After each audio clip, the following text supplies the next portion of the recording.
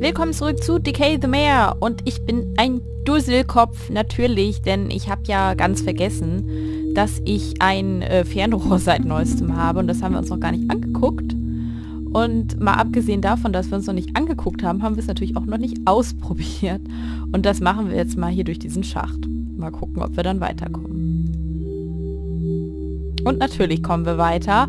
Und natürlich finden wir auch noch den Code mit dem roten Schmetterling mal wieder. Vielleicht sehen wir auch bald die Tasche wieder, die natürlich auch nicht die Mutter ist, wie ich äh, anfangs erst so verstanden hatte. Nein, äh, wir sollen ja die Mutter sein von der Tasche. Aber sind wir wahrscheinlich auch nicht, weil wir sind ja Sam, der äh, drogenabhängige Typ, der seine Tabletten nehmen soll.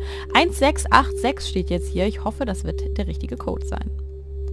So, lange kann man sich hier aufhalten. 1686. Habe ich was falsch verstanden? Hm. Und können wir auch durch das Fernrohr ähm, 1,6? Oh Gott! Oh mein Gott, Herzinfarkt! Boah, scheiße!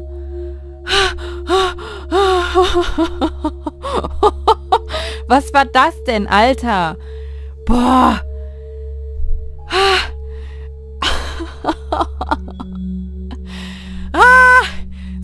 Jetzt bin ich wach und mir ist warm. 9891, alles klar, dann eben was anderes. Boah, jetzt traue ich... Boah, 9891. Das war mit Absicht falsch gemacht. Ich bekomme wieder äh, eine Errungenschaft, die Metallkiste. Und ich bekomme noch eine Münze. Oh. Das haben die mit Absicht so gemacht, dass man da extra nochmal durchgucken muss. Ich will jetzt wissen, ob es nochmal wiederkommt. Nein, nicht untersuchen, verwenden. Nee, jetzt kommt der nicht nochmal wieder. Hallo? Komme ich hier wieder raus? Hä? Ich sehe hier gerade meine Maus nicht mehr. Hallo? Irgendwie reagiert mein Spiel gerade nicht. Hä? Moment. Hä? Ganz merkwürdig. Irgendwie habe ich meine Maus nicht mehr gesehen. So, äh... Münze, Schlüssel, Home. Wo soll es denn jetzt nach Hause gehen? Übrigens, das Gemälde mit dem geschlossenen Auge, das geht auch auf, wenn man äh, die Kamera benutzt. Habe ich auch schon ausprobiert gehabt. Ähm, vielleicht zu Jack Ross ins Zimmer, schön nach Hause zu ihm. Vielleicht geht es ja dann dahin zu ihm und vielleicht kommt ja auch links, rechts jetzt der eklige Typ. Keine Ahnung. Und das geht natürlich.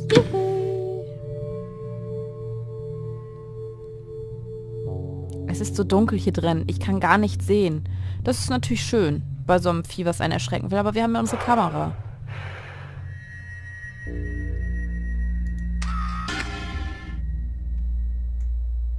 Okay, das ist echt gruselig, jetzt hier mit der Kamera sich fortzubewegen.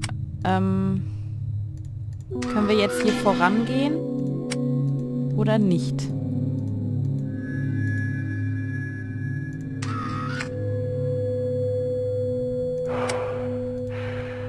Wir können hier uns was angucken.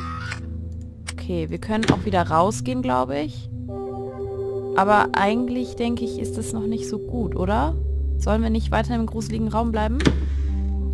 Ist ja so schön muckelig da drin. Komm, zeig mir mal. Ah, hier können wir hin. Okay. Das ist echt unheimlich. Auch da gehen wir um die Ecke. Bis das Vieh vorn steht. Ich warte nur drauf. Vor allem das Atmen Macht mich leicht nervös. Wir gehen zur Tür. Bitte lass es hell sein. Dankeschön. Okay. Wo sind wir hier? Unsere Taschenfreundin. Och ja, okay. Dann reden wir wieder mit Tasche. Tasche. Hi Sam. Ich bin so froh, dass du gekommen bist. Könntest du mir einen Gefallen tun? Bitte stecke für mich vier Nägel in Teddy. Tasche, bitte. Ja, das machen wir. Ich habe nämlich zufällig Nägel dabei. Ich hoffe, diese Nägel tun, tun ihr weh. Du bist mein bester Freund, Sam. Nimm das hier. Ah, und jetzt kriegen wir die Platte. Armer Teddy. Allerdings. Armer Teddy. Aber da wir das Rätsel, das andere gelöst haben, haben wir die Nägel schon dabei gehabt. Sehr schön. So, ein gruseliger Kühlschrank. Was haben wir da drinne? Ja, wir öffnen die gruselige Kiste und finden, du hast mich vergiftet. Warum? Warum hast du mich vergiftet? Ich war doch gut zu dir. Wer bist du? Still. Ich habe dir vertraut, Jeratzig. Jeratzig? Ich habe dir wirklich vertraut. Trifft Jack? Ach klar. Oh Gott, sein Kopf. Oh. Äh, wer hat denn, wer macht denn sowas? Echt das eklige Vieh, was uns da die ganze Zeit, der Typ, der uns verfolgt. Ja, ratzig. Das ist ein umgedrehtes Wort. Ich mache hier nochmal ein Foto. Können wir hier auch nochmal aufmachen und ein Foto machen? Oh, krass, jetzt ist hier sein Kopf drin, ne? okay. Oh, da ist noch ein Zeitungsartikel. Den heben wir auch noch mal auf und lesen den natürlich. Yarazig Roth, the wife of well-known pianist Jack Roth, is believed to have left the country. Jack Roth, award-winning composer and pianist, was found dead at his home in May. At an early stage, his wife was suspected of the murder. She is believed to have fled to Poland. Hm. Okay. Vielleicht war es ja auch die Frau und deswegen Mutter. Vielleicht haben wir hier noch eine Mörderin. Da ist noch eine Münze. Ich habe noch eine Münze gefunden. Wie viele habe ich jetzt? Wie viele Münzen? 9 von 10. Hey. Cooles Ding. So, dann gehen wir mal. Aber irgendwo fehlt mir noch eine Münze. Ah, wo ist das Vieh? ist hier vielleicht auch irgendwo noch eine Münze? Ich meine... Ich habe Angst. Es war so klar. Es war so klar. Und er hat keinen Kopf, weil das halt Jack ist ohne Kopf.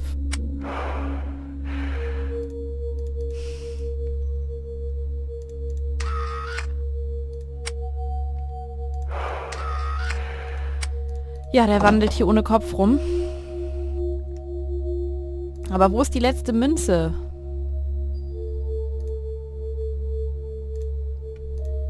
Bestimmt irgendwo beim Kühlschrank oder so. Was wollte ich jetzt eigentlich? Was wollen wir jetzt eigentlich? Wir haben noch das Fernrohr. Ach ja, die Metallplatte, die wollen wir wegbringen. Ne, die müssen wir aber nicht hier hinbringen. Die müssen wir äh, hinter uns bringen. Dazu müssen wir wieder hochklettern. Und weggehen hier. Und, glaube ich, nach oben gehen. Auch nur noch eine Münze, dann hätte ich alle. Jetzt will ich eigentlich die Metallplatte schon wieder ungern da reintun. Aha. Will doch die Münze finden.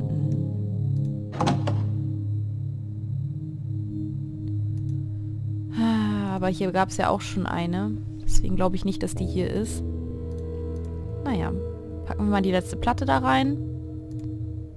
So, und jetzt sollen wir hier irgendwas nachbauen. Ah. Okay. Mal gucken. Vier. Vielleicht, dass das in der oberen Reihe immer vier ergibt. Zwei, drei, vier. So. Äh, dann sollen hier oben fünf sein. Fünf. Und nochmal fünf. So.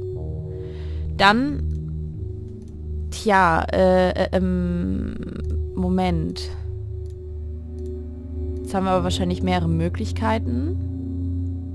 Unten sollen jetzt aber auch hier wieder fünf ergeben. Das tun sie hier nicht. Vier. Hier gibt es hier nochmal oben vier. Nein. Zwei, drei, vier. Zwei, vier. Kann man den denn insgesamt auch ändern? Oder so da drinne? Nee. Vier.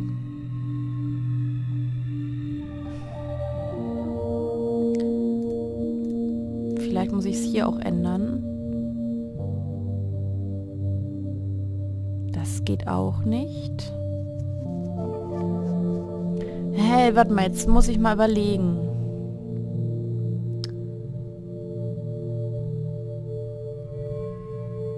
Jetzt geht es ja auch nach Reihe und das kann ja gar nicht gehen. Jetzt bin ich verwirrt.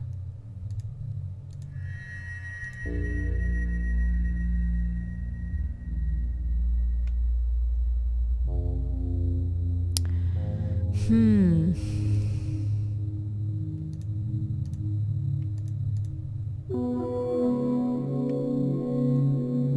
Also, wir haben hier vier, da fünf und da auch fünf. Aber die Frage ist, hier sind vier, fünf, fünf. Ob das jetzt so geht oder so oder ähm, oder ob ich ganz falsch so denke, anscheinend schon, weil sonst hätte es ja schon geklappt. Und dann passt es ja sowieso mit den anderen schon immer nicht.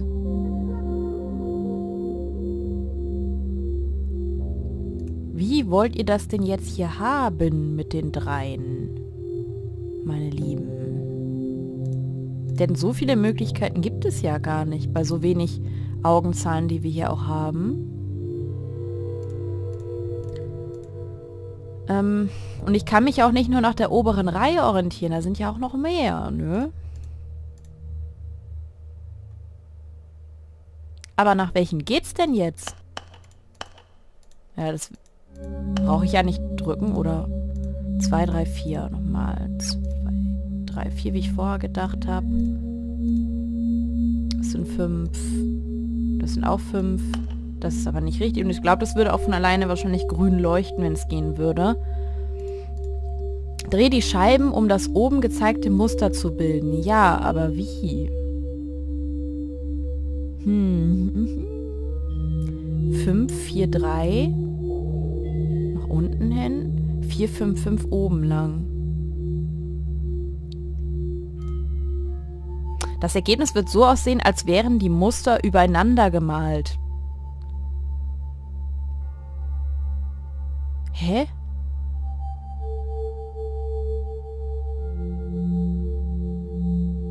Ach so. Wenn man die drei Platten übereinander schiebt, dass es dann die Zahlen ergibt, sozusagen. Ah, okay. Warte mal. Dann 4, 5. Weil, nehme, ich nehme jetzt nur mal den rechten. Das sind zwei und zwei und noch einer sind fünf.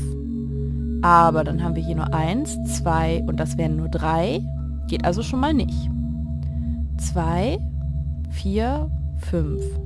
Das vielleicht. Zwei, vier, nee, das wären dann sechs. Das geht auch nicht. Einer, einer. Nehmen wir mal hier nur den Einer.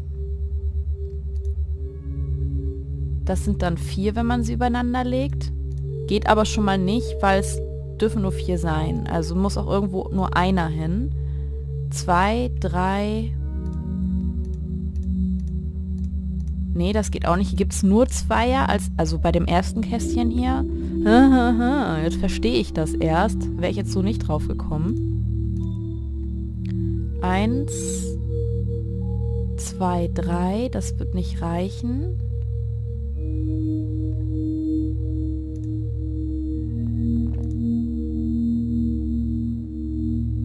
Zwei, vier, sechs geht natürlich auch nicht. So vielleicht. Warte mal, nee. 2, 3, 4, 5, das geht. 2, 4, das geht schon wieder nicht.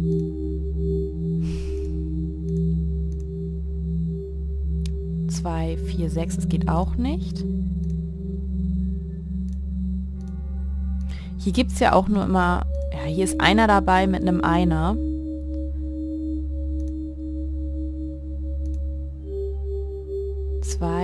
Drei, vier. Oh Gott. Man muss sich ja auch eigentlich nur nach einer Zahl orientieren. Ich kann natürlich auch hier einfach die mittige 3 nehmen, aber die geht wahrscheinlich eh immer.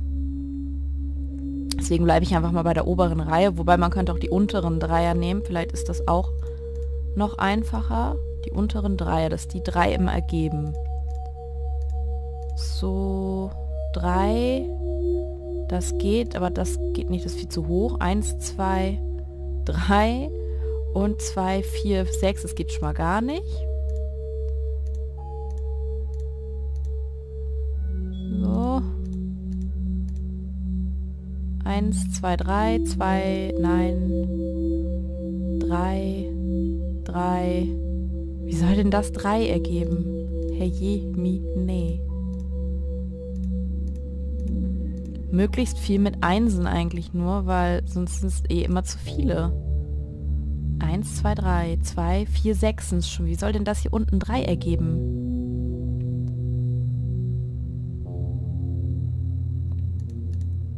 Wenn das denn so stimmt, dreh die Scheibe, um das umgezeigte Muster zu bilden. Das Ergebnis wird so aussehen, als wären die Muster übereinander gemalt.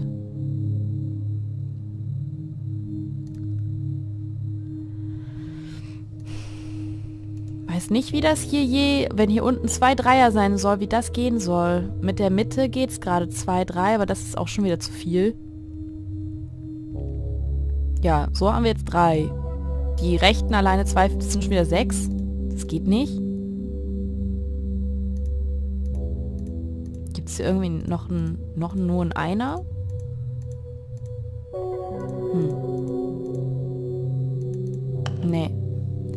Keine Ahnung, wie das gehen soll. Vielleicht habe ich das doch auch noch nicht richtig verstanden.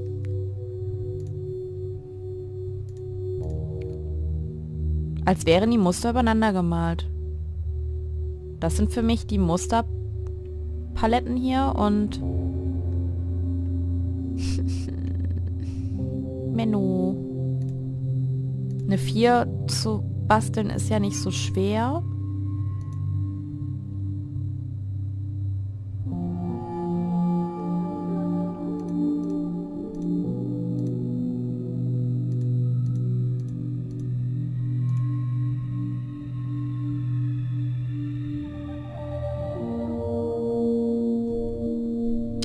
Aber die Frage ist auch, ob alle drei Dinger dann übereinander gelegt werden. Aber ich nehme mal an schon.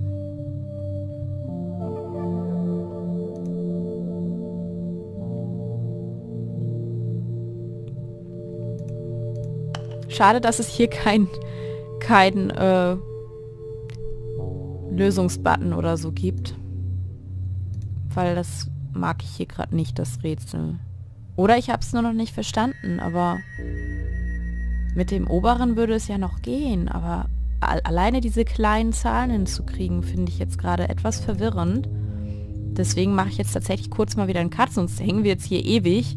Und äh, nur damit ich das verstehe, also ich will es nur kapieren, vielleicht schaffe ich es dann auch alleine und weil ich nicht weiß, wie man, wenn man die drei Dinger jetzt übereinander legen würde, wie man dann die zwei Dreien alleine hinkriegen soll. Das verstehe ich nicht. Weil wir haben hier nirgendwo unten zwei Einsen, dass das gehen könnte.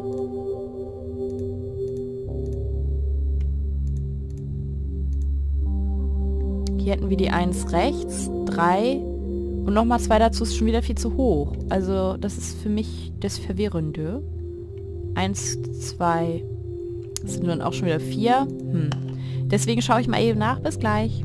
So, also ich habe mich schlau gemacht und zwar ist ähm, von mir äh, zu, ja, weiß ich nicht, ob man es schwieriger nennen kann oder nicht, äh, gedacht, dass ich denke, man muss die Zahlen rausbekommen, sondern es ist wirklich nur so vom Muster her gedacht, wie es jetzt hier auch heißt. Ähm, das Muster, nicht die Zahlen. Und ich denke die ganze Zeit, ich muss ja die drei hinbekommen ähm, tut, tun sie auch, wenn sie denn dann übereinander lappend richtig liegen und dann werden die ja nicht zusammengezählt, wie ich es gemacht habe, sondern sie liegen quasi nur übereinander. Also man muss sich eher visuell vorstellen.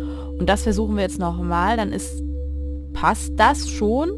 Ähm, dann würden hier zwei sein und da auch, das geht auch. 2, 4, 5, das würde dann hier aber wieder nicht gehen. Vielleicht finden wir da noch eine bessere Lösung. Genau das würde gehen. Und dann fehlt uns hier aber noch einer. So, damit wir da auch die Punkte haben. Okay, warte mal. Das geht auch, das geht auch. Dann müsst, müsste hier eine 1 hin vorne. Genau, machen wir das so. 1, also 3, 3, 3. Vielleicht so. Nein, das stimmt noch nicht. Da ist noch irgendwo ein Fehler drin. Okay, ich orientiere mich jetzt gerade mal an dieser 5 hier unten. Dann hat man hier so visuell die 5 dargestellt. Das würde zwar gehen, aber irgendwo fehlt noch was. Die 3, die geht. Ach so, weil da hier der eine Punkt wieder fehlt, ne? Stimmt. So, dann drehen wir das Ganze doch mal um. Machen wir das so. Ich überprüfe das nochmal. Hier die 3. Aber das passt mit dem nicht überein. Nein, das geht so nicht. Dann machen wir das so. So. Punkt. Punkt, Punkt. So, jetzt haben wir es. Ha. Okay. Also, es war für einen Bruchteil einer Sekunde. Jetzt, ähm, aber ich habe mich nur an der 5 hier orientiert und die Platten halt so hingelegt, dass die Würfelaugen... Ihr könnt ja sonst schnell nochmal Pause drücken. Und dann hat man ähm, das sich einfach nur visuell dargestellt. Also es geht doch einfacher, als ich dachte. So, mir fehlt eigentlich noch eine Münze. Aber okay. Wehe, die finde ich nicht noch. Dann bin ich enttäuscht. Sehr enttäuscht. Wo soll es denn jetzt mal hingehen? Ah, jetzt gehen wir wieder zurück. Oh, es, die Dreh kriege ich auch nie raus hier mit den Pfeilen. Obwohl ich es in der ersten Episode schon ganz gut geschafft habe. Ähm, raus mit dir bitte. Jetzt ist hier eine schöne Blutspur. Mhm. Geh mal hinaus. Wo geht's denn jetzt eigentlich hin? Haben wir jetzt irgendwas geöffnet? Was... Ja, wir klettern mal runter. Oder war da noch irgendwas, was wir nicht... Mhm. Ich will meine Münze haben. Meine eine fehlende. Schweinemünze. Aber hier war die ja schon.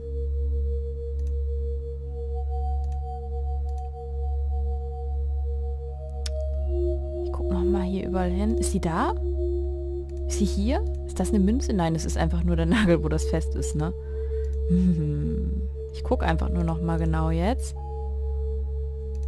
Gehen wir hier noch mal durch. Sollen wir auch lang? Wo soll es jetzt lang gehen? Wir sollen uns hier drehen. Ach so. Gehen wir hier durch. Habe ich hier irgendwas übersehen?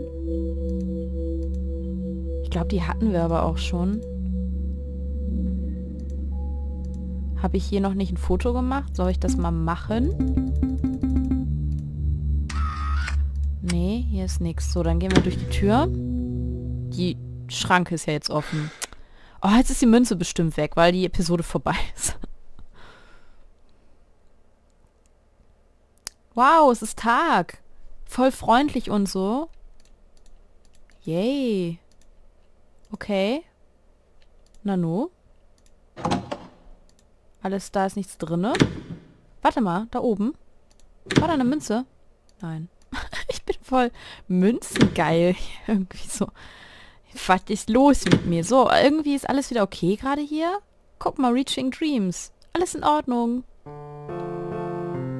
Und ich habe die letzte Münze natürlich nicht gefunden. Shit. Ha! Meister des Verfalls als Errungenschaft. Oh, schade. Ich frage mich, ob ich das alles nochmal machen sollte, einfach nur um die letzte Münze zu finden. Die war bestimmt beim Kühlschrank oder so. Ich glaube, da habe ich noch nicht so richtig gesucht gehabt. Die Musik ist aber voll schön. Jetzt ist die Frage, gibt es noch eine dritte Episode? Die gibt's. Und die spielen wir. Natürlich. Episode 3. Auch wenn die Musik sehr schön war, wollen wir natürlich wissen, wie es weitergeht. Und so viel Zeit haben wir nicht mehr für diesen Part. Also geht's weiter. What is a friend?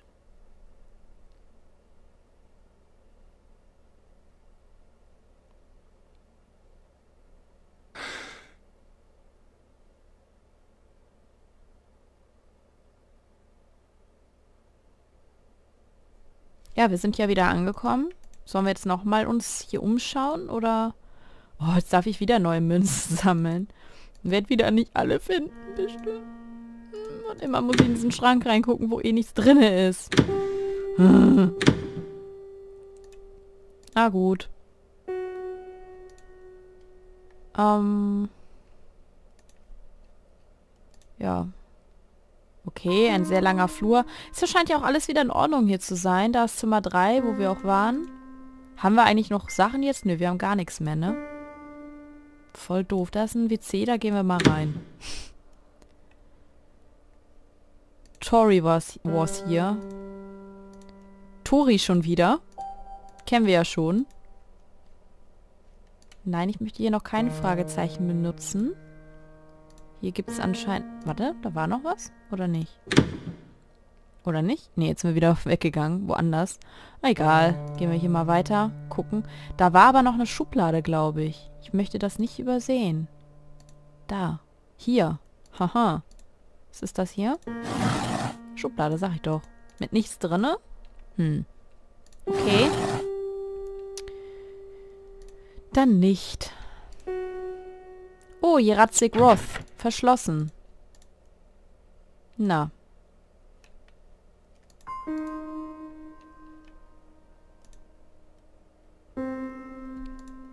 Ein guter Appetit braucht kein Dressing. Echter Spaß. Ja. Toll. Okay. Können wir hier irgendwas denn ma machen?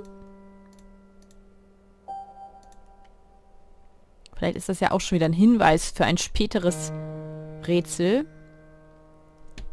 Das ist unsere Tür, die brauche ich nicht. Gehen wir mal nach links nochmal. Hier hin. Kann man hier nichts angucken? Hm. Schade. Dann gehen wir mal hier hin. Zu zwei.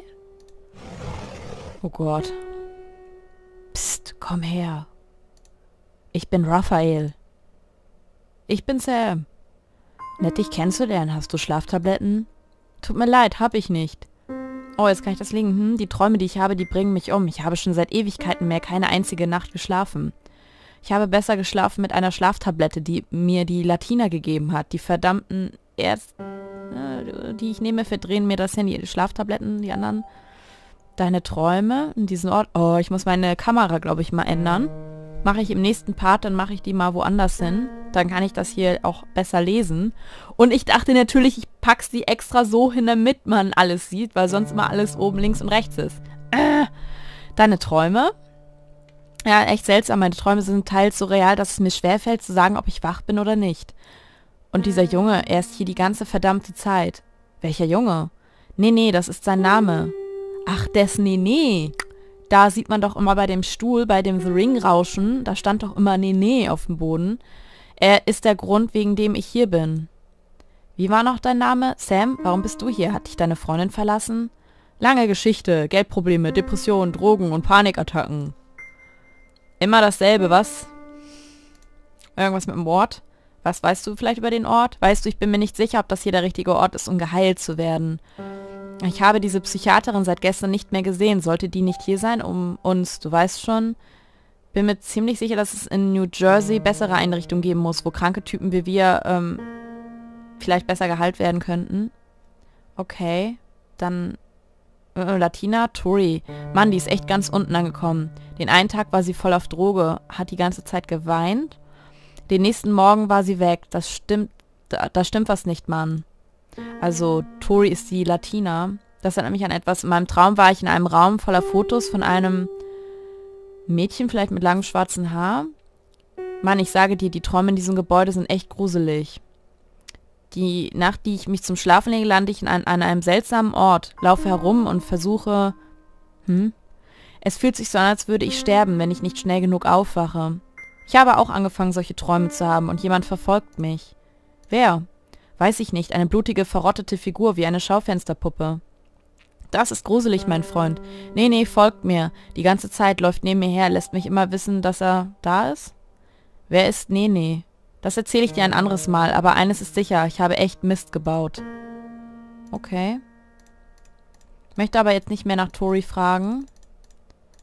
Jetzt habe ich schon wieder gedrückt. So, kann ich jetzt äh, weg hier? Okay, so. Dann mit Escape eben. Ah. Hm flattert irgendwie so ein Vieh rum. Ähm.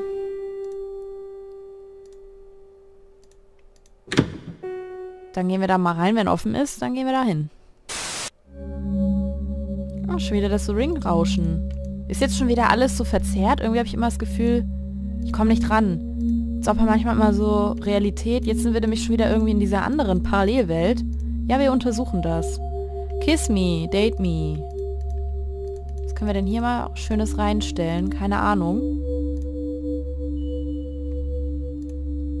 Ähm.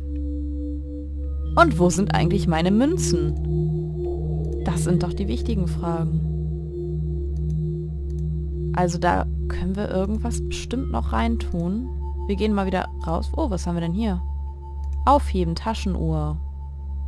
Aha. Schauen wir uns mal an. Unser erstes Utensil. Da ist ein Tee drauf. Vielleicht für Tori? Hm.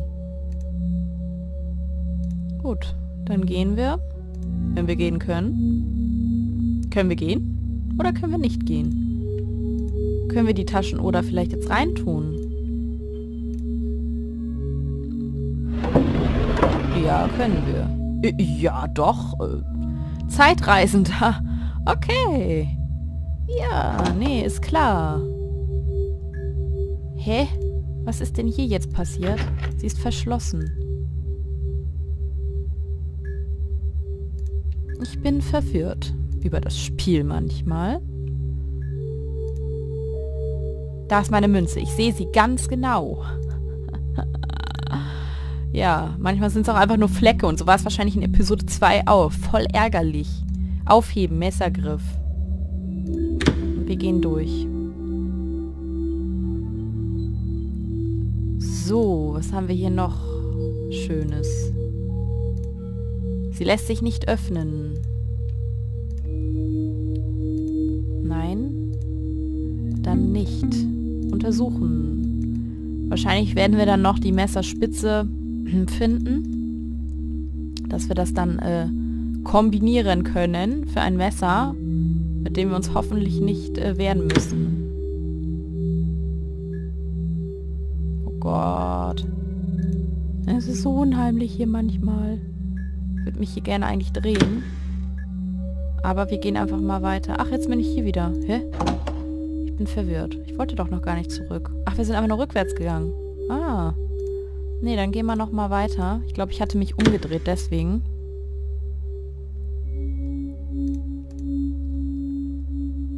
Äh, jetzt habe ich mich umgedreht, ne? Genau, hier wollen wir mal durch. Zu diesem roten Flackern. Oha. Hier ist so ein Schrank. Eine Münze. Yay. Wie viel sollen es denn diesmal eigentlich werden?